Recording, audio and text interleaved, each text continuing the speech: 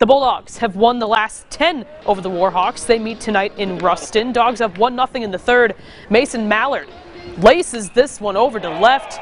Phil Matulia will come on in to score, and Tech will go up by two.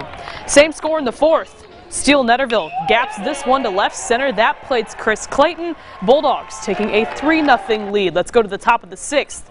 Runners on the corners for ULM. Blake Buckman pounding this one deep to left, and it is gone. We are tied up at three just like that. Buckman's first homer in two years with the Warhawks. Rallying late in this one. They